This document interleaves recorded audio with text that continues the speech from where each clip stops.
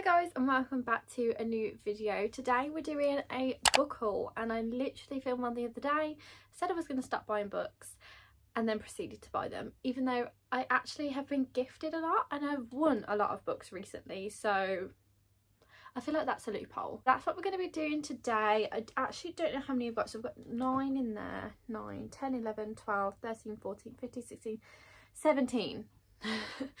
and there are more on the way. um, but 17 new books. And that's totally fine considering when I did my physical TBR video I had 170 that I haven't read.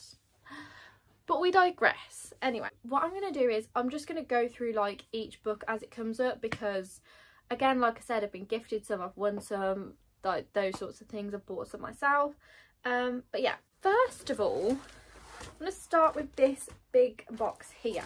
I actually won a giveaway from Boldwood Books um, where they were gifting a, like, all the books that were in a book bouquet for Valentine's Day.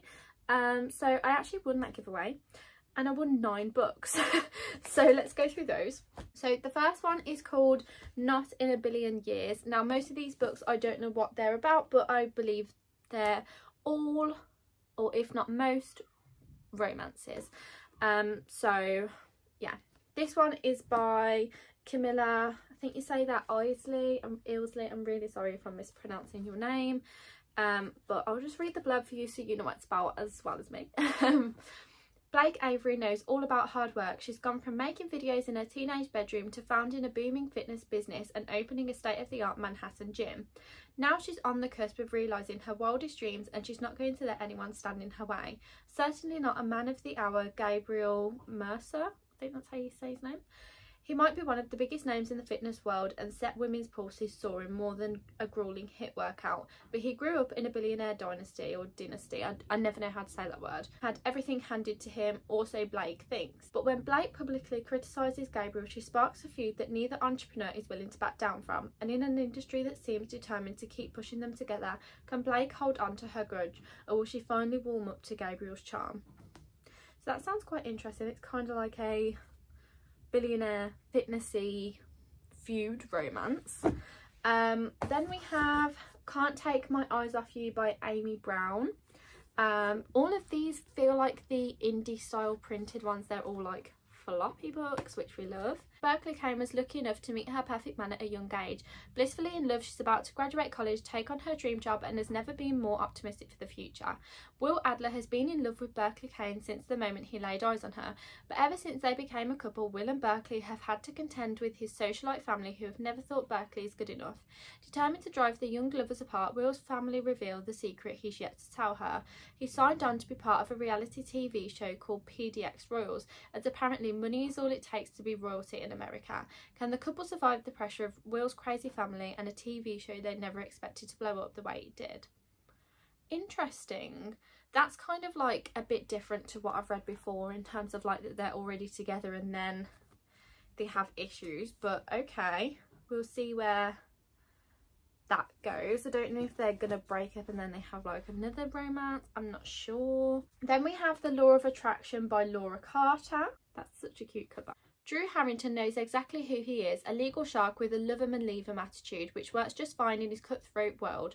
He's on the cusp of being named a partner in his firm, but only if he can prove to his colleagues that he has more he has a more human side. Becky Fletcher is running from her past, so the last thing she's looking for is love. What she does want is a friendly face in a cold city. Her sunny outlook is the perfect opposite to Drew's hard exterior, but can she afford to let her guard down?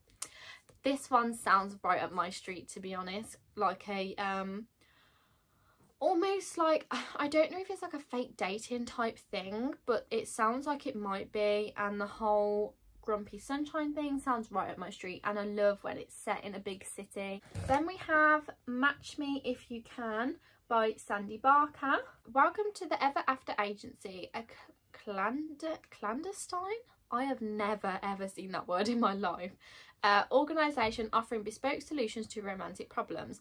Whether you're looking for the love of your life, a fresh romantic start, or just want to keep up appearances, the agency can tailor a solution to meet your needs. When Tristan Fellows walks into the agency, Poppy Dean knows she's in for a challenge. A typical bachelor, Tristan has no intention of falling in love, but in order to receive his £30 million inheritance, he must find himself a wife before his 35th birthday. This may be Poppy's hardest case yet, but even the most arrogant of men can sometimes warm a woman's heart. This sounds right up my street. There's just the whole grumpy male main character just is right up my street for me. um, then we have Just Do It by Maxine Morrey. I think I've actually heard of this author before. Lizzie Rose knows what she likes and likes what she knows. Her job at the London Museum is her safe place and her passion. So when Lizzie is passed over for a once in a lifetime opportunity in favour of her ex-boyfriend, oh my gosh, Fred Friedrich? maybe Klein. Uh, her heartbreak over their relationship is nothing compared to her sadness at losing the project. Best friend Colette thinks an evening out is just the medicine for a broken heart, and meeting charming but very much not her type Finn Bryson puts a smile on Lizzie's face too. But Lizzie isn't used to spending time outside her world of academia and doesn't believe in mixing business with pleasure. So when Finn's job brings him to the mu museum, she's determined to put an end to any notion of romance between them. But is it time for Lizzie to take the chance on love that fate keeps bringing her way, even if it means changing the habits of a lifetime? Again, that sounds quite cute the whole not her type but you know that sounds cute some of these sound really good um then we have Mr. Right Next Door by Rachel Dove. Now I have actually seen this book over on TikTok. Um, so this says a heartwarming romance. So on her, oh my gosh, On her deathbed, Rory Gallant's mother begs him to be a good man and not to behave like his caddish father Doug. Now all grown up, Rory is a good man, but love seems to elude him. Maybe he does need to be a bit more of a cad after all. Deciding to follow the cad dating rules with a bit of help from... I do not know how you say that. Lothario Dad Doug. Yeah, Lothario Dad Doug Rory decides to become the complete opposite of the man he really is. Rory's best friend and neighbour Sarah doesn't understand why Rory thinks he needs to change. He's perfect just the way he is. She's determined to show him that maybe the love he's looking for is standing right under his nose, maybe even right next door. That's quite cute. I feel like it's going to be a friends to lovers type romance and it's quite short so um then we have The Love Interest by Victoria Walters, which I have actually read before as I was gifted um, the arc of this from NetGalley and Boldwood Books. Um, so this one was actually quite interesting. It's brother's best friend type romance. Um, she is looking for a love interest to put in a um, romance book that she's writing and turns out that when she starts writing it it just seems that her brother's best friend is the right person like fits the description that she's been writing in the book. Um so yeah it's quite an interesting read and they really hate each other from the beginning. So it's enemies to lovers and brothers best friend romance. Um and it is set in london so we have the city aspect as well. Um and yeah love it love some of the side characters as well. So i actually have read this one already and really loved it. Then we have enemies to lovers by portia MacIntosh. I think that's how you say her name. Um this looks like such a summery read. So lara and sony are sworn enemies or Sunny, you might say it's Sunny actually, are sworn enemies. As rival showbiz journalists, they're always out to get one up on each other, whether being the first to the scoop, the latest celebrity gossip, or sabotaging a potential lead. So when their bosses ask them to join forces and go undercover at an exclusive celebrity retreat, they can't think of anything worse, except that they are going to need to pretend to be in couples therapy to blend in. Being on a tropical island for work would be most people's idea of heaven, but for Lara and Sunny, it's hell. Can a week of sun, sea, and, under and uncovering showbiz secrets together chip away at Lara and Sunny's rivalry?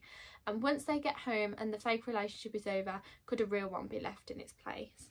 That again just sounds right up my street. I love an enemies to lovers romance. And the last book that I actually won as part of that giveaway is Anyone But the Billionaire by Sarah Al Hudson. Self-made mogul Chase Moore is a charming hound dog with a hairless cat and a family business to save. He was fine being the spare to the heir until the billion dollar business threatened to go belly up. Now, Chase will need more than his rakish good looks to fight his father for control. Powerhouse marketing guru Campbell King is a hard headed woman. After being chewed up and spit out by the city that never sleeps, Campbell returned to Texas and launched her own company. When her phone rings and the sexy voice on the other end asks her to help save his swanky store in Manhattan, uh, she seizes the chance to redeem herself. When the sexy redhead runs into her new billionaire boss, they're both in for a shock, but there's no way Campbell is dating the boss. In fact, anyone but the billionaire would be better. Again, sounds so good. I just love a billionaire romance. All of these books sound so good, so interesting. A bit of a range of tropes in there. Um, but yeah, so thank you to Boldwood Books for all of these books that I won. I won nine of them in total, so that is crazy, but so, so colourful. Look at that colourful stack of books. Um, but yeah, thank you so much. And I will obviously be giving updates on these when I read them in vlogs and stuff or over on my TikTok or even um, my Instagram. So if you ever want to like follow me on those because I post a lot more on there, they're always linked in the description. So go and join our little book community. We've got a nice little community going on now. Um, but thank you Boldwood Books for all of those. Now, a random stack of books that I like from different places. Um, so I'm part of this like program or influencer type thing on Bookstagram um, for a company called Love Book Tours. I will link them in the description for those of you who are interested in going to check them out or whether you make book content and you kind of want to be a part of this too. Um, but basically they you sign up to it and if you get approved then part of the influencer program. Um, and every day or every couple of days they'll send out some books that you can be part of the tour of. Obviously it's like a virtual tour you don't actually have to go anywhere. Um, but sometimes they have physical copies of books and sometimes they have uh, digital copies. So it just depends on like the books that come out and you don't have to sign up to all of them. You can sign up to whatever ones suit you. And if you get approved then you either obviously get the um, digital copy or a physical copy so that was leading me to tell you that I have a physical copy of a book for one of the book tours. This book just sounded quite interesting. So it's called Broken Shadows and it is by Sorrel Pitts. I think that's how you say that. And it's kind of like a mystery type um, book. So I'll read you the blurb because it sounded really interesting. Um, so in 1994, 11-year-old Callum was abducted from his Wiltshire village. His body was found six months later by his older brother Tom. Near a oh my good god ne neolithic henge i think that's how you say that um, called The Shadowing Stones. It was the first in a series of events that would destroy Tom's family. The boy's father was a suspect but never charged, and their mother died by suicide a year later. Convinced his father was responsible for his brother's death, Tom fled to Australia to start a new life. Now, almost three decades later, Tom learns that his father is dying of cancer. Knowing this may be his last chance to uncover the truth, Tom returns to England. But when childhood acquaintance Anna forms a bond with Tom, old feelings are stirred as he's reluctantly drawn drawn closer to both Anna and his father, Tom is confronted with a series of shocking twists and revelations that will change his life forever. So it sounds really, really interesting. It's kind of like a murder mystery type thing, but it's his younger brother. I think it's his younger brother yeah his younger brother that passed away or was murdered or something um, and obviously his father was a suspect. So it sounds really really interesting and i'm really excited to be part of this book tour. So basically for the book tours you read the book and post your review and stuff um, onto amazon or goodreads um, and your instagram or whatever platform you create content for. So yeah I'm going to be reading this. I think the book tour is in June, so I have until June to like read it and post about it. But anyway, that is the book that I was gifted for the book tour. Um, I do have another one coming as well, but it hasn't arrived yet. Um, so yeah, exciting. And I'll probably be including this in the vlog closer to the time or over the next couple of months. Um, when I get round to reading it. I then actually won another giveaway for someone um, Lizzie. She got 5k followers on her Bookstagram and did a giveaway and I was actually one of the winners so thank you so much Lizzie um, and she sent me two books off my Amazon wish list so I'm so excited about that and those books are Mixed Signals by BK Borison and Bride by Ali Hazelwood. Mixed Signals is part of the I don't actually know what this series is called. Is it called the Lovelight series? If you know, can you comment it down below because I don't know what the series is called, but it's the one that's got Lovelight Farms in. Um, so this one is actually the third book in the series. Um, I've read the first one, Lovelight Farms, really liked it. I gave it five stars actually at the start of this year. Um, and this one follows Layla and Caleb. Layla is the baker on the farm and friends with the main, female main character in the first book, Lovelight Farms. Um, and Caleb is a police officer, or I believe he was a police officer in the first book. I think he's had a career change. I don't know whether it happens in this book or in the one before this, um, but I believe he's had a career change or something.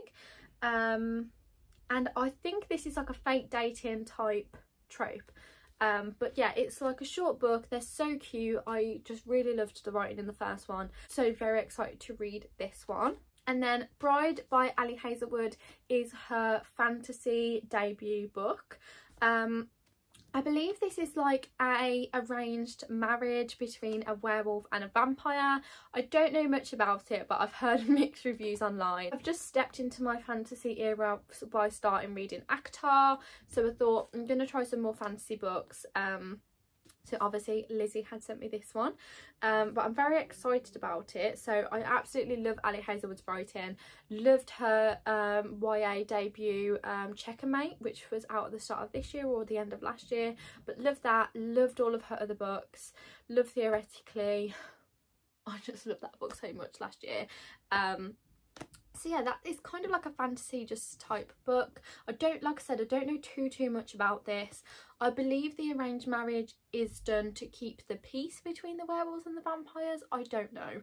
Um, but i will give you updates on this. I'm planning on doing a reading fantasy for a week reading vlog so let me know if you want to see that and whether you want me to include this book. Thank you so much lizzie for those. Then I was also gifted another book by Sophie so thank you so much Sophie. This was sent to me as part of Fairy Friday over on Bookstagram. If you don't know what that is, basically people put a post up saying like Fairy Friday and you can comment on there if you want a specific book off your wish list or if you would like a surprise and then other people might gift you a book or something. So yeah, it's not always guaranteed you're going to get a book but if you do then it's a very nice surprise. So thank you so much to Sophie um, for gifting me this. So this is The Housemaid by Freida McFadden. I have just bought so many books from Freida McFadden because I just want to start my Freida McFadden era. I'm very excited about it.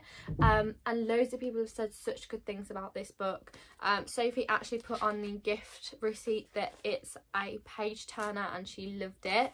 So I'm going to give this a read super soon. I am actually doing a reading mysteries and thrillers for a week reading vlog uh, in a couple of weeks so I might include this one in it. It's definitely going to be a Freida McFadden book in there. um, but yeah, so excited about this. Thank you so much to Sophie for gifting me this and I'll get to this very very soon. I then have a couple of books that I bought myself um, from The Works. I ordered a couple online and then I went there today as well and picked up a couple more. Um, so the first book that we have is The Inmate, also by Freida McFadden, like I said. I'm being in my Freida McFadden era because I've heard she is the queen of thrillers so I'm very excited. I love a good thriller. This one sounded quite interesting so there is essentially a nurse practitioner who is at a maximum security prison. She's told to like treat the prisoners with respect, don't reveal personal things about yourself or personal information and um don't get like friendly with the inmates but one of the inmates is actually her childhood sweetheart who was arrested for some really gruesome murders I think. Um, and her testimony was what got him arrested. So or at least like sentenced or whatever. So that sounds really interesting I kind of want to know what's going on that's what I got from like the back of the book so I'm very excited about this now. Then have A Court of Frost and Starlight by Sarah J Maas which is part of the A Court of Thorn and Roses series. Now I do have books 1, 2 and 3 sitting on my shelf so this is book number 4 in that series. Um, I'm not going to read the blurb and tell you what it's about because I don't want to know because I am reading the second one at the moment so I don't want to read the back because there's probably going to be spoilers for the other books so I don't want to know. Um, but this is essentially the fourth one in the series um, and like I said I'm doing like a reading fantasy for a week soon so we'll see where I get to in the series but I'll probably be reading one of those books in that week. Um but yeah very excited for this one.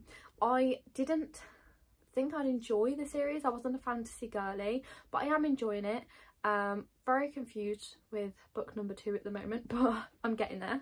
Then i got fourth wing by rebecca yarros. Is that how you say her name? Um this is also a fantasy book and it's just come out in a paperback so it's actually book of the week at the moment at the works. I think it was in there for like five pound. This is chunky. I didn't realize how chunky this book was. I'm gonna pick that up because it's finally in a paperback and this cover is gorgeous. How cover it how cute is that? Um but yeah so I think it's kind of like a, I know it's got dragons in, it is a fantasy. I think it's kind of like a um, school or college or something to do with dragons. Um, I have no idea. so I can't really give you a gist of this book. I know there's dragons, I know it's a fantasy. I think there's a college where you may learn about the dragons or something. I believe there's a romance in here or at least a bit of one, a subplot. I don't know. but I've heard mixed reviews and I wanted to read it for myself and like I said I'm being in my fantasy era. And then the last book I have to share with you is from our queen of small town and cowboy romances and that is Elsie Silver's new book Wild Love. This cover is stunning. Um, so they actually have this in the works for, I think it's £5, so go and grab your hands on one of these. I didn't know what this was about. I knew that it was sort of connected to Chestnut Springs, but not entirely. I don't know if there's like a sibling in here from like one of the other books. I don't know. Um, but I do know from reading the back of this that it is a best friend's sister's romance. Hello? That sounds amazing. Um, I don't know if it's a cowboy romance because I don't think our male main character is a cowboy. I think he's a billionaire. But it is small town, so we love and I'm very excited. Um, but those are actually all the books for our book haul today. I need to stop buying books. I do have two more coming at the end of the month. Um, the Naturals, the rest of the Naturals series, so books three and four but I think because they're being reprinted I can't have them yet or something. So they're coming at the end of the month um, and I've kind of like sort of pre-ordered them or something. Um, so yeah those are coming as well. But those are actually all the books for today's video. So I hope you enjoyed our I was going to say a little book haul but it's like nearly 20 books. So yeah I hope you enjoyed today's video and I'll see you in another one super super soon. Bye